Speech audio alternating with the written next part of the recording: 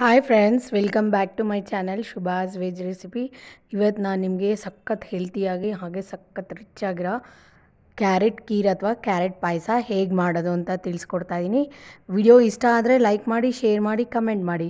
ಹಾಗೆ ಸಬ್ಸ್ಕ್ರೈಬ್ ಆಗೋದನ್ನು ಮರಿಬೇಡಿ. ಪಕ್ಕದಲ್ಲಿ ಬರೋ ಬೆಲ್ಲೈಕನ್ನ ಕ್ಲಿಕ್ ಮಾಡಿಕೊಂಡ್ರೆ ಸೊ ದಟ್ ನನ್ನ ನೆಕ್ಸ್ಟ್ ವಿಡಿಯೋ ನೋಟಿಫಿಕೇಷನ್ ನಿಮಗೆ ಸಿಗುತ್ತೆ. ನೋಡ್ತಾ ಇದ್ದೀರಲ್ಲ ಎಷ್ಟು ಚೆನ್ನಾಗಿ ಈ ಕೀರು ಮತ್ತು ಪಾಯಸ ಮಾಡ್ಬೋದು ಅಂತ.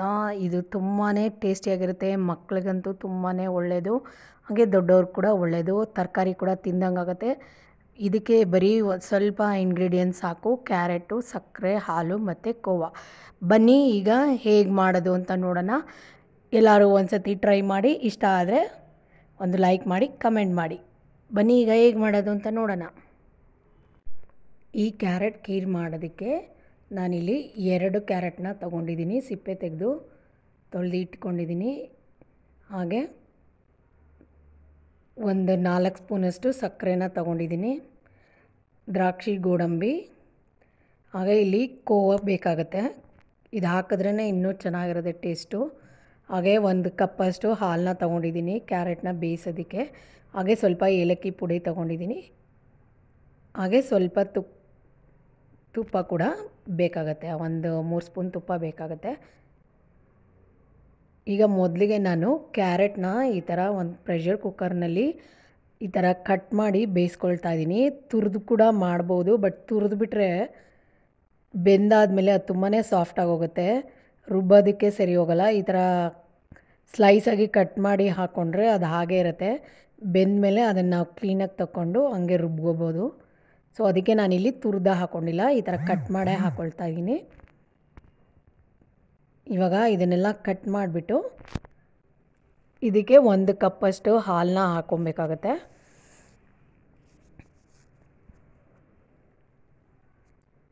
ಇದಕ್ಕೆ ಒಂದು ಕಪ್ ಹಾಲು ಮತ್ತು ಇದಕ್ಕೆ ನಾವು ಎಷ್ಟು ಸಕ್ಕರೆ ಬೇಕಾಗುತ್ತೋ ಅಷ್ಟನ್ನು ಕೂಡ ಹಾಕ್ಕೊಂಬಿಟ್ಟು ಒಂದೇ ಸತಿ ಕೂಗಿಸ್ಕೊಂಡ್ರೆ ಆಗುತ್ತೆ. ಇದು ತುಂಬಾ ಫಾಸ್ಟಾಗಿ ಆಗೋಗುತ್ತೆ.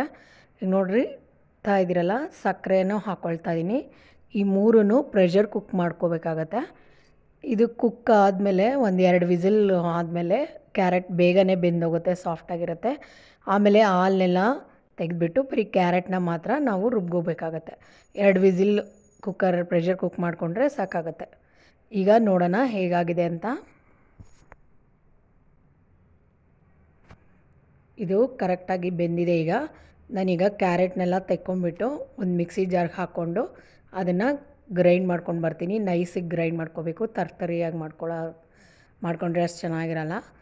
ನಾನು ಈ ಕಾರಣಕ್ಕೆ ಹೇಳಿದ್ದು ತುರಿದಾಕೊಂಬಿಟ್ರೆ ನಮಗೆ ಇದು ಹಾಲಲ್ಲಿ ಫುಲ್ಲು ಬೆರೆತ್ಕೊಂಡ್ಬಿಡುತ್ತೆ. ಆಮೇಲೆ ನಮಗೆ ಕ್ಯಾರೆಟ್ ಈ ಥರ ಸಿಗೋದಿಲ್ಲ. ಈಗ ನಾವು ಫಸ್ಟು ಹಾಗೆ ಗ್ರೈಂಡ್ ಮಾಡಿ ನುಣ್ಣಗೆ ಆಗ್ತಾ ಆಗ್ತಾ ಹಾಲನ್ನ ಮಿಕ್ಸ್ ಮಾಡಿಕೊಂಡು ಈ ಬೇಯಿಸಿರೋ ಹಾಲನ್ನೇ ಮಿಕ್ಸ್ ಮಾಡ್ಕೊತಾ ಹೋಗ್ಬೋದು. ಈಗ ಅದು ಸ್ವಲ್ಪ ಬಿಸಿ ಇದೆ, ಅದು ತಣ್ಣಗಾಗೋ ಅಷ್ಟೊತ್ತಿಗೆ ನಾವು ದ್ರಾಕ್ಷಿ ಗೋಡಂಬಿನ ಹುರ್ಕೊಂಬರೋಣ. ಒಂದು ಚಿಕ್ಕ ಪ್ಯಾನ್ ತೊಗೊಂಡಿದ್ದೀನಿ ಎರಡು ಸ್ಪೂನ್ ತುಪ್ಪ ಹಾಕ್ಕೊಂಡು ದ್ರಾಕ್ಷಿ ಗೋಡಂಬಿನ ಹುರ್ಕೊಂಡು ಎತ್ತಿಟ್ಕೊಳ್ತಾ ಇದ್ದೀನಿ ಅಷ್ಟೊತ್ತಿಗೆ ಅದು ತಣ್ಣಗಾಗಿರುತ್ತೆ. ಈಗ ನೋಡಿ ಈ ಥರ ನುಣ್ಣಗೆ ಪೇಸ್ಟ್ ಮಾಡ್ಕೊಬೇಕು. ಆಗತ್ತೆ, ಫುಲ್ಲು ನೈಸಿಗೆ ಪೇಸ್ಟ್ ಆಗುತ್ತೆ, ಹಾಗೆ ಮಾಡಬೇಕು. ತರ್ತರಿಯಾಗಿ ಮಾಡಿದ್ರೆ ಸರಿ ಹೋಗೋಲ್ಲ. ಹೊಂದ್ಕೊಳ್ಳಲ್ಲ. ಈಗ ಮಿಕ್ಕಿರೋ ಹಾಲು ಅದರಲ್ಲೇ ಬಿಟ್ಟಿದ್ದೀನಿ. ಎಷ್ಟು ಬೇಕೋ ಅಷ್ಟು ರುಬ್ಬೋದಕ್ಕೆ ಹಾಲನ್ನ ಅದೇ ಉಪಯೋಗಿಸ್ಕೊಂಡಿದ್ದೀನಿ. ಇನ್ನೂ ನಿಮಗೆ ಸ್ವಲ್ಪ ನೀರಾಗಿ ಬೇಕಂದರೆ ಇನ್ನೊಂದು ಸ್ವಲ್ಪ ಹಾಲು, ಹಾಲನ್ನ ಆ್ಯಡ್ ಮಾಡ್ಬೋದು. ಈಗ ಮಿಕ್ಸಿನಲ್ಲಿ ಒಂದು ಸ್ವಲ್ಪ ಕ್ಲೀನಾಗಿ ವಾಶ್ ಮಾಡಿಬಿಟ್ಟು ಅದರದ್ದು ಸ್ವಲ್ಪ ಬೆರೆಸ್ಕೊಳ್ತಾ ಇದ್ದೀನಿ. ಇದು ಕುದೀತಾ ಕುದೀತಾ ಗಟ್ಟಿಗೆ ಆಗ್ತಾ ಬರುತ್ತೆ. ನಾವು ಕೋವಾ ಬೇರೆ ಹಾಕೋದ್ರಿಂದ ಇನ್ನೂ ಚೆನ್ನಾಗಿರುತ್ತೆ. ನಿಮಗೆ ಕೋವಾ ಬಳಸೋಕ್ಕೆ ಇಷ್ಟ ಇಲ್ಲ ಅಂತಂದರೆ ಒಂದು ಇಡೀ ಗೋಡಂಬಿ ಕೂಡ ಹಾಕ್ಕೋಬೋದು ಗೋಡಂಬಿ ಪೇಸ್ಟ್ ಕೂಡ ಹಾಕ್ಕೋಬೋದು ಬಟ್ ಕೋವಾ ಹಾಕ್ಕೊಂಡ್ರೆ ಇನ್ನೊಂದು ಸ್ವಲ್ಪ ಡಿಫ್ರೆಂಟ್ ಆಗಿರುತ್ತೆ. ಇದು ಬಿಸಿ ಬಿಸಿಯಾಗಿದ್ದರೂ ಚೆನ್ನಾಗಿರುತ್ತೆ. ಹಾಗೆ ಫ್ರಿಜ್ಜಲ್ಲಿ ಇಟ್ಕೊಂಡು ತಿಂದರೆ ಇನ್ನೂ ತುಂಬಾ ಚೆನ್ನಾಗಿರುತ್ತೆ. ಕೂಲಾಗಿದ್ದರೆ ಇನ್ನೂ ಟೇಸ್ಟ್ ಚೆನ್ನಾಗಿರುತ್ತೆ. ಈಗಿದು ಎಲ್ಲ ಒಂದು ಮಿಕ್ಸ್ ಮಾಡಿ ಒಂದು ಕುದಿ ಬರಲಿ. ಈಗ ನೋಡಿ, ನಾನು ಐವತ್ತು ಗ್ರಾಮಷ್ಟು ಕೋವನ ಹಾಕ್ಕೊಳ್ತಾ ಇದ್ದೀನಿ ನೀವು ಎಷ್ಟು ಪ್ರಮಾಣದಲ್ಲಿ ಮಾಡ್ತೀರೋ ಅಷ್ಟು ಹಾಕ್ಕೊಂಡ್ರೆ ಸಾಕಾಗತ್ತೆ. ಈಗ ನಾನಿಲ್ಲ, ಐವತ್ತು ಗ್ರಾಮ್ ಕೋವನ ಹಾಕ್ಕೊಂಡು ಮಿಕ್ಸ್ ಮಾಡ್ಕೊಳ್ತಾ ಇದ್ದೀನಿ ಇದು ಹಾಕಿದ ನಂತರ ಇನ್ನೂ ತಿಕ್ನೆಸ್ ಚೆನ್ನಾಗಿ ಬರುತ್ತೆ ಪಾಯಸಕ್ಕೆ.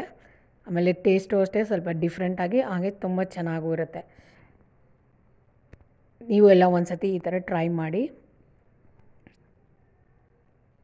ಈಗ ಒಂದು ಕುದಿ ಬಂದಮೇಲೆ ಕೋವಾ ಹಾಕಿದ್ಮೇಲೆ ಪಾಯಸ ಅಥವಾ ಖೀರು ರೆಡಿಯಾಗಿದೆ ಈಗ ಲಾಸ್ಟಿಗೆ ನಾನು ಇದಕ್ಕೆ ದ್ರಾಕ್ಷಿ ಗೋಡಂಬಿ ಹುರಿದಿಟ್ಕೊಂಡಿದ್ದಲ್ಲ ಅದನ್ನು ಹಾಕಿದ್ರೆ ಕ್ಯಾರೆಟ್, ಕೀರು ರೆಡಿ ಆಗುತ್ತೆ.